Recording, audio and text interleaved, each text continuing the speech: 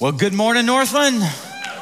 Hey, it is good to be with you. Let's extend a warm welcome to our extended Northland family at Ponce Inlet. Oh, we have a group meeting in New York. Oh, we have people from all over the world. And then I got some friends that have been meeting in Paris, Tennessee, that they continue to grow. And they're friends of my dad's. And so if they're friends of my dad's, they're friends of mine. But Sonny and Lisa Forbes and all of that group in Paris, Tennessee, will you welcome them. Like, we're so, so grateful.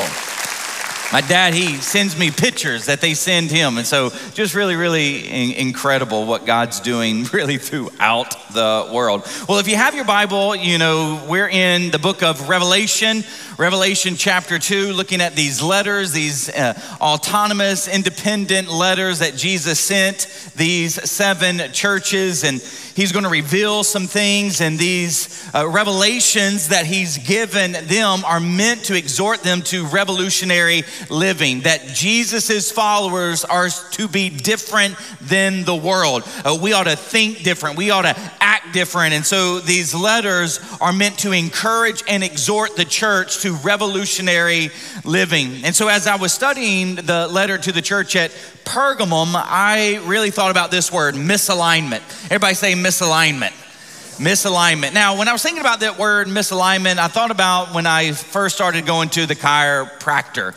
Like he's like, man, your body's so jacked up. It is so out of alignment. And you, you, know, and he put me on the table. Then he took my two legs and he bent them forward. Do you see how your right leg's longer than your left? I'm like, I thought just God made me that way. No, man, you you so out of alignment. And, and then there's times when I go to the the car shop or the auto body shop, and they're like, you need some some rotation in your tires. You need to have your tires rotated because they are out of alignment. Uh, there are times times my wife just kind of wants to remind me that uh, you need to put out, you know, put up your clothes because they are out of alignment. They need to be in your drawers, not on top of your dresser. Can I get an amen to from some women? All right, so amen. I, I get it. I get it. it. It's a struggle. So.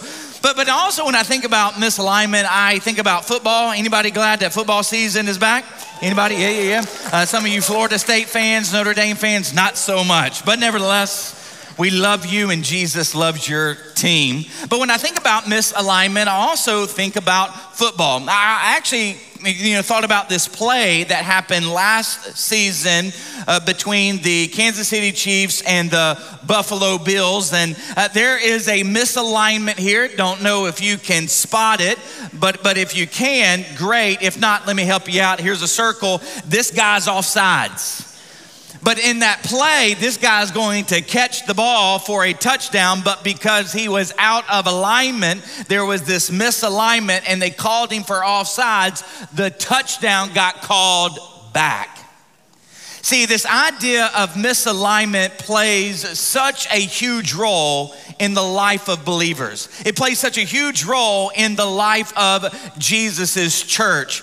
Because when we get out of alignment, Jesus is going to throw a yellow flag and go, Hey, you are out of alignment. I need you to get back in alignment. Uh, so, with that, let me give you the main point that we're going to be fleshing out this morning. Uh, revolutionary living requires actions that are aligned with our authority. We need to make sure that our actions are aligned with our authority. Christians, the church, we need to make sure that how we are living, how we are behaving are in alignment with our authority, and our authority is King Jesus. So I'm just going to ask you, uh, uh, you know, are, are, are your actions, are your behaviors in alignment with King Jesus? If you profess Him, are your actions or your alignment, or your actions, your behaviors, are they in alignment with King Jesus? So, with that, will you stand with me as we honor the reading of God's word? The letter to the church at Pergamum. Here's what Jesus writes To the angel of the church in Pergamum, write, These are the words of him who has the sharp, double edged sword. I know where you live, where Satan has his throne, yet you remain true to my name. You did not renounce your faith in me, not even in the days of Antipas, my faithful witness, who was put to death in your city where Satan lives. Like he does he have an apartment there? Does he have like an address where, where he lives, where he's thrown? I'm going to explain all that here in a second. So hold your horses. Verse 14, though, Jesus says, Nevertheless, I have a few things against you. There are some among you who hold to the teaching of Balaam, who taught Balak to entice the Israelites to sin. Why? So that they ate food sacrificed to idols and committed sexual immorality. Likewise, you also have those who hold to the teaching of the Nicolaitans. We saw the Nicolaitans in the letter to the church at Ephesus. Verse 16 says, Repent therefore, otherwise I will soon, Jesus says, come to you and I will fight against them with the sword of my mouth. Whoever has ears, let them hear what the Spirit says to the churches, to the one who is victorious. I will give some of the hidden manna to them. I will also give that person a white stone with a new name written on it, known only to the one who receives it. Let's pray. Father, may you be glorified. Jesus, I pray that you would be the center of our lives, you'd be the center of Northland Church. I pray, Spirit, that you would go to work among amongst us right now. And that you will give us eyes to see, ears to hear, and mind to understand, a heart to receive the truth.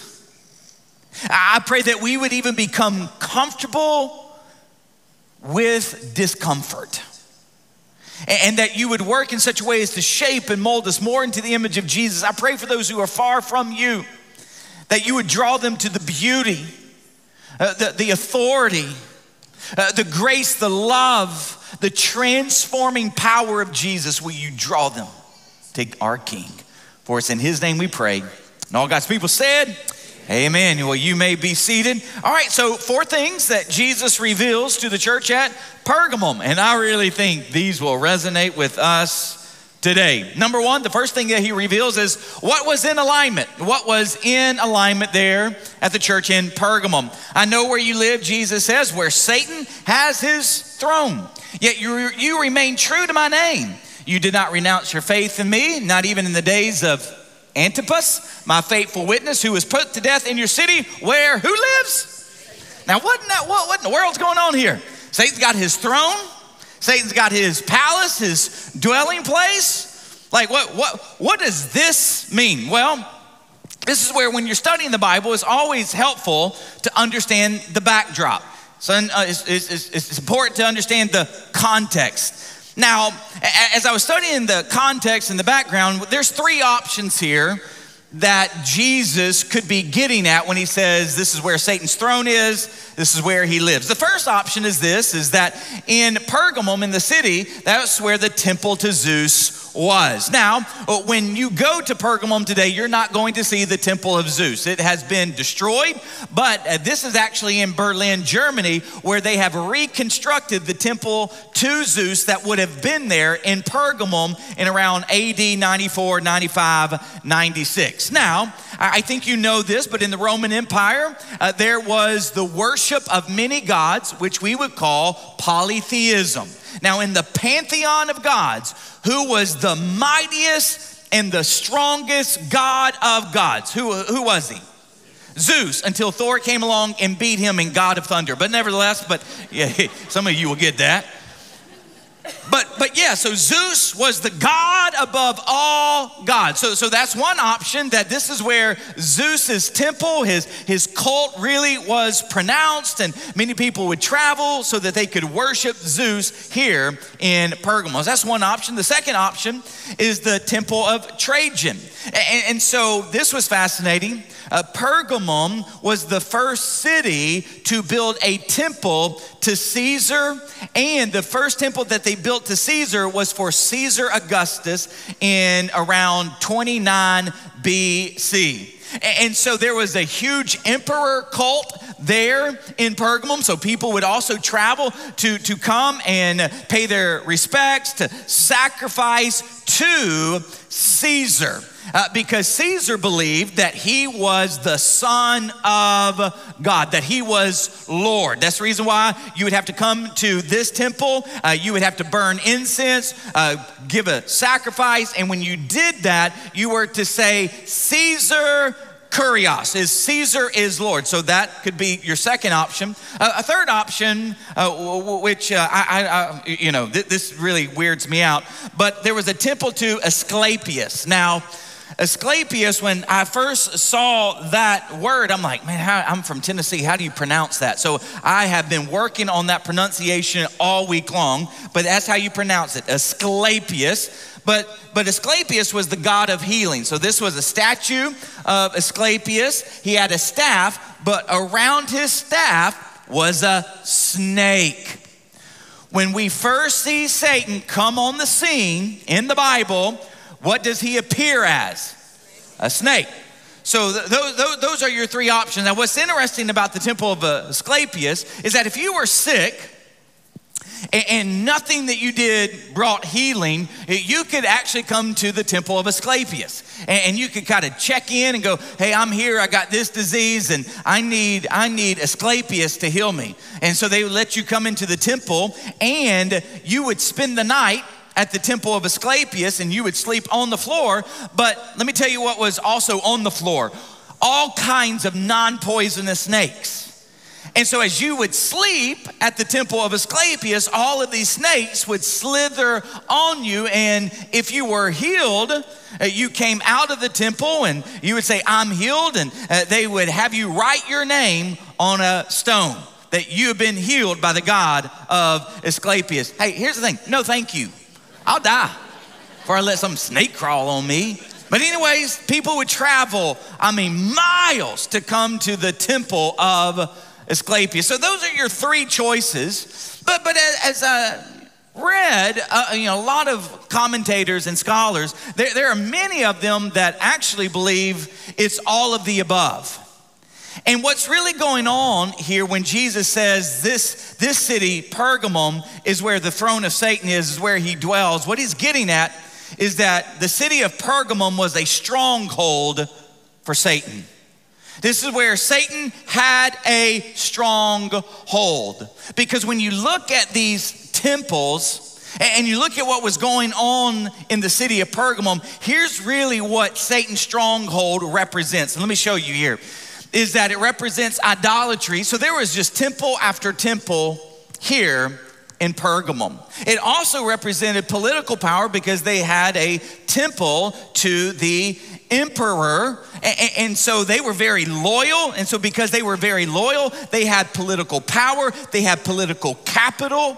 Uh, also, was a city of immorality, especially sexual immorality, because they had all of these temples, all of these cults, all of this temple prostitution. I mean, sexual immorality was rampant. And then they had such a focus on healing with the temple to Asclepius. Now, when I think about Satan's stronghold in the city of Pergamum, listen, I don't have to think very, very much for, for me to come to the conclusion that in America today, Satan has a stronghold. And you need to know that. If you are a follower of Jesus, you need to know at this point now in America, Satan has set up a stronghold. I mean, idolatry is all over the place. You say, Josh, what is idolatry? Idolatry is the worship of anything or anyone other than God. It's ascribing worth, it's ascribing significance and value to anything other than God. So it's things that you live for more than God, it's things that you love more than God, it's things that you long for more than God. And so when you look at Pergamum, I mean, again, they had a temple to Zeus, they had a temple to the emperor, they had a temple to Asclepius, they had other temples to other various gods in the pantheon of gods. But also think about political power. I mean, we are in a political season. At some point, I, I, I, hope that I can move on with using these as an examples. And some of you, I wish you would, but you hang on. After November, I will. But, But, but if you look at America right now, I'm telling you, political power, that is the fight between the right and the left. Who has the power so that they can control what America looks like? And then I don't think I, I, don't, I don't think that uh, uh, th- this has gone over your head. But if you've been in Florida any amount of time, Florida is what we call a swing state, a battleground state. I mean, so this is a this is a uh, kind of a, a, concentrated place of power uh, where they're all using so much money to try to gain political influence and power here in Florida. Uh, uh and then when you think about immorality, oh my gosh, this is I mean, we are in the new sexual revolution here in America. You just do whatever you want to do with whoever you want to do it, whenever you want to do it, however long you want to do it. Like there, there are no rules anymore when it comes to your sexuality. If you can think it, if you can dream it, and it feels good, do it. And then about healing. Now, if you think about the focus that we have on healing, is that we have counseling and therapy and psychology. Uh, we have psychiatrists. Uh, you, you, cannot, you know, even watch TV if you still watch commercials without seeing commercials with the new kind of drug that has come out that's going to bring some kind of healing. I mean, they even got a drug now for your lazy husband. It's called Gojo. I'm just joking. They don't have that.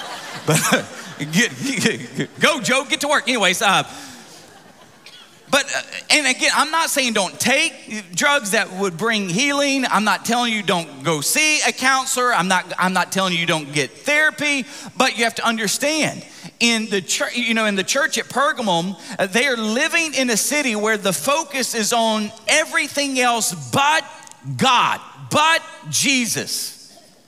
And, and, so, uh, what I'm saying here is that in our context, in our culture in which we live, there is so much focus on everything and everyone but Jesus. And this is Satan's stronghold. But did you see what Jesus said to the church at Pergamum? Even where Satan lives, even where he has his throne and his stronghold, you have remained faithful.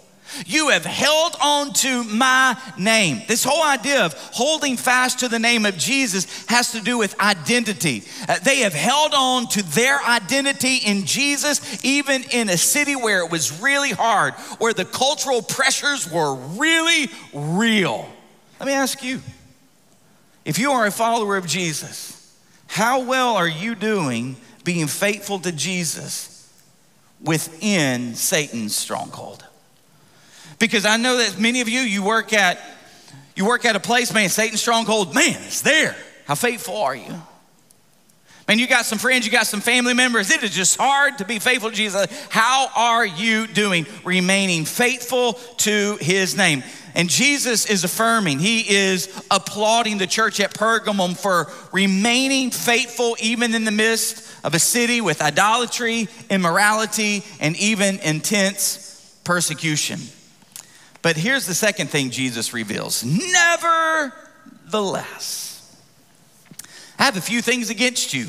Could you imagine you're at the church of Pergamum, the pastor's reading the letter, and you like start high fiving each other, like, woo! He says, man, we remain faithful. But then the pastor goes, but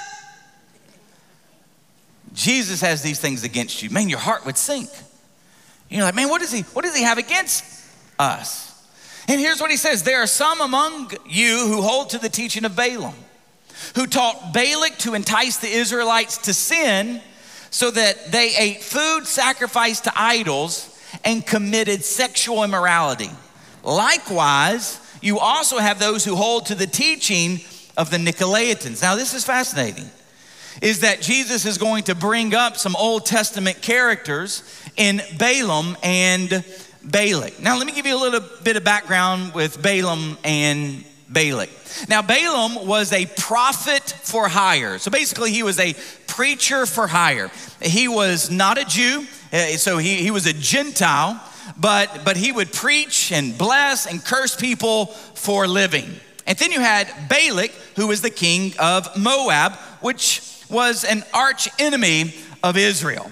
And so Balak sees just how strong, in some sense, Israel is, how uh, they're getting victory after victory. They're on their way to the land of Canaan, a land that God had promised them. And so Balak wants to hire Balaam, the prophet for hire, to go out and curse Israel. Well, so Balaam's like, I need some money. You know, inflation's a little high. Sure, I, I, I will be the prophet for hire. I'll be a huckleberry. I, I'm going to go out and get the job done. Well, so he gets his little donkey, and he and his donkey, they hightail it towards Israel because he's getting ready to curse them. Well, on the way, the reason why I remember Balaam is because I remember the story as Balaam and the talking donkey. Don't know if you remember that in Sunday school. Don't know if you remember that in uh, the things that you, you would do like vacation Bible school. But we have Balaam on his donkey, and as, as they are approaching Israel, there's an angel of the Lord that is standing in the middle of the road. Well, the only the only thing that can see the angel of the Lord is the donkey. And the donkey stops. And Balaam doesn't know why his donkey has stopped. He doesn't know why his donkey is stubborn. Uh, he kicks the donkey, he yells at the donkey, he beats the donkey, and the donkey does not move. In fact, he's not going to go forward. And then the next thing you know, the donkey crushes Balaam's leg. Balaam is even more ticked off about the donkey. He's hitting, he's screaming, he's yelling at the donkey. The donkey still will not move. Next thing you know, the donkey just falls down to the ground. Balaam, at this point, he wants to call the donkey some, some, some choice names that I can't say from the stage. And at that point, Balaam is like, I would kill you if I had a sword. And it was basically at that moment the, the donkey begins to talk to Balaam. And like, why do you keep yelling at me? Why do you keep beating me? So it's a Dr. Dolittle moment. He's like, I can't go forward. There's something, there's someone in the way. And at that moment, the Lord revealed himself to Balaam, and Balaam knew right then he cannot curse God's people. And what you will find is in Numbers 23 and 24, instead of cursing God's people, Balaam blesses Israel. He blesses God's people. But something happens though. Something happens, and here's what we read in Numbers. While Israel was staying in the land of Shittim, no, I did not cuss the, the men began to indulge in sexual immorality with Moabite women who invited them to the sacrifices to their gods. So this is interesting? God's protecting Israel. He's protecting them from Balaam and Balak to curse them. But what we read a couple of chapters later is that now Israel and the men uh, they're intermarrying, they're, they're you know, integrating with Moabite women, and they're leading, those Moabite women are leading these men astray. What happened? Glad that you asked. Numbers 31 tells us this. So they were the ones who followed Balaam's advice and enticed the Israelites to be unfaithful to the Lord in the Peor incident so that a plague struck the Lord's people. Uh, let me help you out with what was going on in Numbers uh, 23 through Numbers 31. I'm going to give you some images here. So, so Balak hired Balaam to curse God's people. And God had protected his people from the outside. He, he wanted to protect his people from the enemy and enemies. And so God's protection hovered over his people. But what Balaam did is that he told Balak, hey, listen, if we cannot curse God's people from the outside, let's kind of go around and plant some heretical ideology, some heretical theology in their midst, saying that it is okay to engage with Moabite women and they will turn their hearts from God. So we'll destroy them from the inside. And that's exactly what happened. If Satan cannot get to God's people from the outside, he'll plant people in demonic teaching in the inside. I'll destroy them from the inside. And that's exactly what's going on here in the church of Pergamum. Is that Jesus tells them that the spirit of Balaam is alive and well through the Nicolaitans. Now, what were the Nicolaitans teaching? Well, here's basically what they were teaching you can go to church and the temple, and God does not care. Uh, you can go and you can observe the Lord's Supper, communion, and you, you can ascribe worth to Jesus, remembering what Jesus has done for you. And then you can also go to the temple of Zeus, you can go to the temple of Apollos, you can go to the temple of Caesar, and you can participate in all of the festivities there. You can participate in the potluck there. Like you can go to church and to the temple, and Jesus does not care. And then while you're at the temple, I know that they do uh, sexual immorality in, in a variety of ways. And hey, listen, because Jesus loves you, because he's already saved you, you just do you. Whatever you want to do, just know that you've already been forgiven. So have fun at the temple. That's basically what the Nicolaitans were teaching. So that Jesus' followers can live a compromised life and he does not care. Now, now this is where this is where when I'm studying scripture, it, it becomes a little challenging at this point because we don't have a temple to Zeus, uh, we don't have a, a temple to Caesar, we don't have a temple to Asclepius. So, how, how do we apply this to us today? Uh, where if Satan cannot curse God's people front and center, he's going to go around and he's going to begin to plant heretical teaching in the body to get you to live a compromised life. What does that look like? Well, here's what I'm going to do I'm, I'm going to give you characteristics, five characteristics of teachers that might be Nicolaitans today. And then I'm going to give you six characteristics of what a Nicolaitan student and adherent might look like today. Let's look at the leaders first. Nicolaitan teacher, preachers, leaders seem to be in it for themselves. So, how do you spot a Nicolaitan teacher today? Well, you you you look at them and go, man, it seems like you are in it for yourself. Let me, explain what I mean. So, with these Nicolaitan teachers, when they came into this body of Christ, this local church, and they began to tell the church that you can do the church and you can do the temple, and Jesus does not care. That would have become a very popular teaching. And so you also have to look at Balaam. Balaam was a prophet for hire, so he's in it for himself. So when, when you're trying to spot a Nicolaitan teacher, again, it's hard to understand. And again, I'm not telling you to judge people, and sometimes it's really hard to understand what's in someone's heart. But if you watch them enough, you can kind of understand if they're in it for themselves or if they're in it for Jesus. Because if they're in it for Jesus, they don't care about their popularity. Here's the second characteristic uh, they, they like to tickle ears by telling people what they want to hear, not what they need to hear. Could you imagine? You're in this city, you got the cultural pressures of Satan's stronghold. You got intense persecution that if you're trying to remain true to Jesus, you're facing all of these pressures. Yet you have these leaders that come into the church and say, hey, hey, let's forget about those pressures. Let's forget about Satan's stronghold. Hey, listen, you can do the church and do that, and it's okay. Could you imagine? Oh man, you tell, you tell me it's okay to live in Jesus and also live in and be of the world? Okay, yeah. Here's a third characteristic that they would avoid teaching on sin, the distinctiveness of Christian ethics, like the distinctiveness of Christian ethics when it has to do with our sexual and moral ethics, and they would avoid teaching on suffering. So if you're trying to spot a Nicolaitan teacher, they're not going to talk about sin. It's just too harsh, too heavy. They're not going to talk about the Christian distinctiveness of how we ought to live morally and sexually. They're just not even going to go there. They're not even going to put it on their website as if they should be ashamed of Jesus' teaching on this. And then they won't even talk about suffering.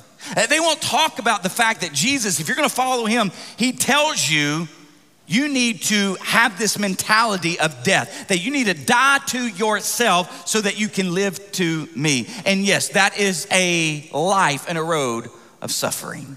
Here are a couple other characteristics. Uh, they will focus on the gullibility of gimmicks to win people, not the glory of God. And here's what I mean by that. And, and no lie, I, I'm not making this up. But last Easter, uh, you know, I, I, follow a lot of people on social media, and I, I saw this one church that advertised their Easter services, and part of their marketing was come to our Easter services for a chance to win a new car. Wow, I need a new car? how, how do you win that again? Like, no lie. And then when you think about gimmicks, uh, uh, of churches. There, there are a lot of times where churches will just bait and switch people. But, but when it really comes down to gimmicks, it's where they put all of the eggs in the attractional basket. They, they try to, you know, kind of glossy up their, their self to, to attract you with what, what you might want, where, where they'll tickle your ears. And, but here's the thing that I want you to realize is that what you win people with, you win them to. If you win people with gimmicks, and at some point, at some point the gimmicks fade, then they will fade with the fading gimmicks. But if you win people with the glory of God, the beauty of God, the majesty of God, the transforming power of God, they will be far less to leave the glory, but they'll be far more leaving the gimmicks. But here we go. Uh, the last characteristic is teaching is not transformative. So, Nicolaitan leaders and teachers, they just don't have transforming teaching. I mean, so, so the teaching that they were doing here was basically you can live in the church and you can live in the world and be of the world, and there is no difference. And what we see here in Revelation 2 is that Jesus reveals himself as him who has the sharp, double edged sword. Well, what does that mean? That means he's the authority. Uh, that means he has the sword, the, the power, and he has a double edged sword, which means that he has the transforming power. And, and, how does Jesus exercise his authority? How does Jesus exercise the transformation through his word? That's why he's the word of God. You see, if you are under a teacher who is in alignment with Jesus, that teaching is going to cut. That teaching is going to be powerful. That teaching is going to be transformational because it is, it is leading you to Jesus and his authority, and you will be shaped and molded more into his image. But if you sit under a Nicolaitan, you will not be challenged to be more like Jesus. Uh, that teaching will be more messy. That teaching will be more dull. That teaching will be more chopped up. That teaching will be more confusing and chaotic because it is, it is not leading you to be more like Jesus. And, and here, I'll give you just a little bit even deeper understanding of the difference between a Nicolaitan teacher and a Christ centered teacher. Is a Nicolaitan teacher might tell you that you can do everything on your own a gospel centered, Christ centered teacher would say, You cannot live the life of Jesus on your own. The only way you can do it is through the power of the Spirit.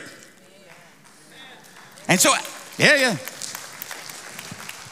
And I'll just warn you, there are a lot of Nicolaitan teachers out there today, alive and well, the spirit of Balaam, alive and well in America, in churches. Y'all all right? All right, here, here's how you can spot a Nicolaitan student is that they want to hear something that makes them feel good rather than something that makes them godlier. Let me ask you this Did you come here? And I think you know by now, if you've been here, that listen, you ain't gonna get your ears tickled. I mean, I might try to say some things funny every now and then, just to you know loosen you up just a little bit. But but you go you gonna get the word. You're gonna be challenged to be more like Jesus. But I know that there are a lot of people when they hop up on me in church, what they gonna tell me so I can feel good? Listen, if you're a follower of Jesus, man, life's tough. And yes, you need to be encouraged, you need to be loved, you need to be cared for. But at the end of the day, you need to be challenged to be more like Him, not to make you feel good. Worry about your feelings, as if this is a segment with Oprah or a Tony Robbins conference. It's not. Here's another characteristic is this is they, they'll stop at God loves me just the way I am. They'll just focus on, well, God loves me just the way I am. Okay, I just want to say time out. Yes, it is so true. God loves you.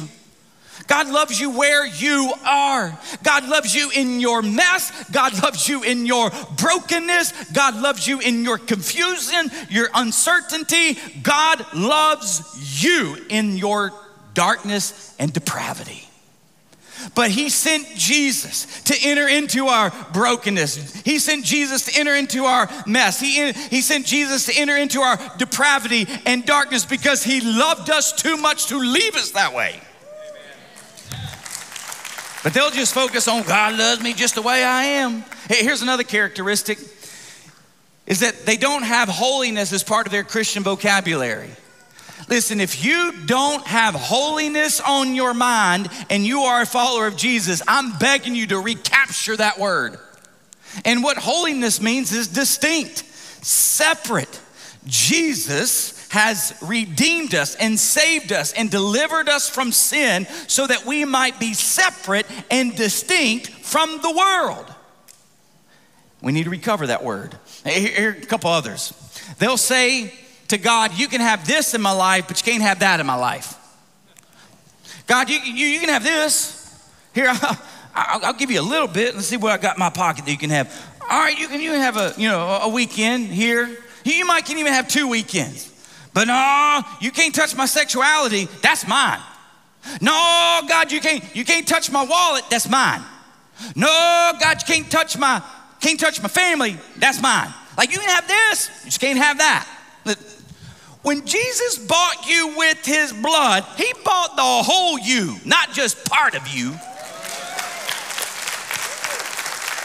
But I'm telling you, that teaching, those students are alive and well today in churches across America. And the last two, here we go. An imbalance focus on the love of God to the detriment of the glory of God. Oh, God is love. God is love. He's all sunshine and rainbows. Oh, I just love the love of God, love of God, love of God. And here's the thing I say imbalance because, yes, we ought to focus on the love of God. For God so loved the world. Romans 5, but God demonstrates his love for us. Like, yes, the love of God is a central theme and theology in Scripture. But I want you to realize this when you understand that God loves you and you've received God's love for you, His love becomes fuel for you to glorify Him. But see, there's a lot of people in the church, oh, I just love God. God just loves me. I can live any way I want to. No, no, no, no. He loves you with a relentless, never ending love so that you can glorify Him with a relentless, never ending life. And then the last is this is uh, they'll have an inconsistent service to the Lord in His church. And the reason why they'll have an inconsistent service to the Lord in His church is because Nicolaitan teaching is all about the person and not about God not about Jesus. So, what's fascinating? Do you know what the word Nicolaitan means? Here's what the word Nicolaitan means a destroyer of people. So here's what Jesus is saying is that you've let these heretical teachers come in. And if you let if you let their teaching take a hold here at the church, they will destroy my people. I'm going to tell you that there are a lot of churches today in America filled with Nicolaitan teaching that is destroying the people of God here in our context. Because this kind of compromised doctrinal teaching destroys the witness of his church. The third revelation that Jesus gives them is how do they get back in alignment? So they're in alignment here. They're out of alignment by tolerating this teaching, but how do they get back in alignment? Ha, here he goes. Repent. Everybody say repent on the count of three. Ready? One, two, three. Repent. Oh, y'all good. That's good. All right. Yeah. Repent just simply means change your mind. You're walking this way, walking this way. Jesus comes, says, I need you to repent. You turn, you change your mind, and you begin walking with Jesus again. That, that's repent. Now, let me go a little bit deeper here, though, because I, I, asked this question. I wrote it down in my notes. Why didn't the church leaders of Pergamum not deal with them before? Don't know. Uh, maybe because they were trying to keep the peace. But here's the thing when you're trying to keep the peace at, at a church to the detriment of doctrinal purity, that's not Christ's peace. And maybe, maybe it wasn't that big of a deal. Well, Jesus is saying it's a big deal. So, why was Jesus so serious about this? Because wayward teaching leads to wandering people, and wandering people tend to leave the wondrous Savior. And he knew tolerating this teaching and letting it infiltrate the church would jeopardize the integrity of God's people. This is really good right here.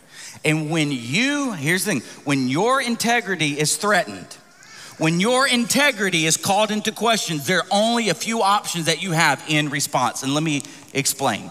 So if you've been here any amount of time, you've seen me teach on this formula. Is identity is who you are, plus function is what you do, equals image, who or what you reflect. So identity, who you are, function, what you do, your behaviors, your actions, your activities, equal what or who you reflect. Let me tell you what was going on in Pergamum. So, Pergamum was a stronghold of Satan. So, their identity and function and what they imaged was all about the world. They're imaging the God of this world, Satan. They're imaging the kingdom of man, which is all about man, not about God, all about man. So that's where all of the weight sit. Now, when you think about integrity, integrity is the wholeness that reflects identity. So when you live in the world and you are of the world and you don't know Jesus, I mean, you really don't even know what's whole. You you just do what what you want to do, how you want to do it, when you want to do it. And so there's really no integrity in the sense of you, you know, you have to do this this is who you ought to be identifying with, and this is what you ought to reflect. That's the reason why the world is a mess. Think about a mirror that has been shattered. There is no whole picture the world gives off because there is no true identity, there is no really true function or law that they live by. Therefore, they are just reflecting a bunch of chaos mess, okay? But that, that was Pergamum. But then you have the church at Pergamum. And so the church at Pergamum, their identity is in Jesus. Their function, how they live, their ethics in Jesus. Who they are supposed to be imaging is the glory, the beauty, the kingdom of God in Jesus. And so integrity is kind of their whole self that reflects their identity, Jesus. Well, the Nicolaitans, they come in and give this heretical teaching. And basically, what they say is that you can have a little bit of Jesus, a little bit of the world. But the problem is, Jesus did not teach that. You either get all of me or none of me. You either faithful to me or you're not faithful to me. There, there's no middle ground. Uh, there's no balanced approach here. And so, but that's what the Nicolaitans were teaching. And what Jesus is telling the church is that you need to repent, that I have something wrong with you about tolerating this heretical teaching. There is now something that has gone on in the body that has called into question your integrity of reflecting me well. And so here's what happens though. Here's a principle. Let me teach it to you. When you do things that go against who you are, and what you are to image, that's called, everybody say it? It's why a lot of people have been turned off by the church because of hypocrisy in the church. You say you love Jesus, you say you follow Jesus, but you act like this. How could you do that? What they're saying is, is that your actions do not align with your authority. Therefore, you are a hypocrite, and they call into question our integrity, our wholeness that is supposed to be reflecting our identity. So here's the next principle though. If you feel the hypocrisy, you will experience what? That's why I, I, I, think it's all okay for you to come and be with the church and feel convicted. It's okay, it's not a bad thing. Now, conviction is different than shame and guilt and embarrassment. Conviction is like, okay, you know that what you are doing is not who you are. And so you fall under conviction. And so I, that's why I want you to lean into the discomfort. I, don't want you to go to a place that you never are challenged, that you never fall under conviction, because here's the deal is that sanctification is a real thing in the Christian life. Which means that once Jesus saves us, we are undergoing a process of, of, sanctification where He is in the process of molding and shaping us more into His image, which means as we grow in Him, we will constantly be convicted. And that's okay. But here's what happens though is that there are three options that you have in dealing with Christian hypocrisy when you come under conviction. The first option is repent. And that's what he's telling the church at Pergamum. That's what he's telling many of you. That's what he's telling many churches today is I need you to repent. You are walking away from me in this area or these areas. I need you to change your mind and begin to follow me where I become the weightiest thing in your life. But then the second option that you have is reimagine. You can reimagine Jesus. And this is what the Nicolaitans were doing. They were trying to reimagine Jesus in their own mind, in their own eyes. They were trying to construct a Jesus that they were comfortable with.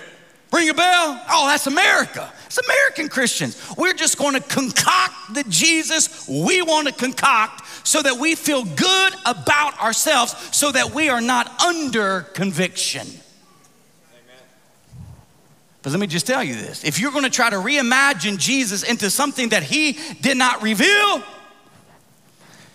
you're bound to go to number three, which is you will relapse and you will become just like the world again. And that is the church in America. There are so many Christians, churches relapsing into worldliness. That's why I lean into the discomfort. Which leads to the fourth thing, and I'll just leave you with this. What happens when they do or do not get back in full alignment? Jesus says, I will soon come to you and I will fight against you with the sword of my mouth. If the church at Pergamum does not deal with this heretical doctrine that the Nicolaitans have brought in, Jesus is going to come in war against the church.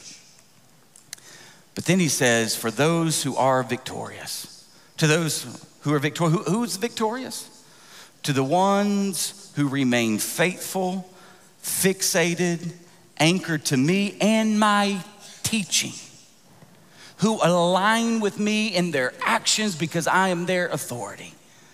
To those, I will give hidden manna. They'll never hunger ever again. And to them, I will give them a new name that will give them access to the entirety of my kingdom. Church, are we aligned with Jesus in all of our life, even our actions, because He is our ultimate authority. Will you stand with me as we pray and we are sent out? And here it is.